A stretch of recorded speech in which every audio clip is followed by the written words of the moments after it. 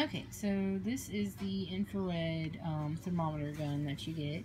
Um, the way this works is you pull the trigger and you point it where you want and it reads the temperature in the room. You can switch between Celsius and Fahrenheit.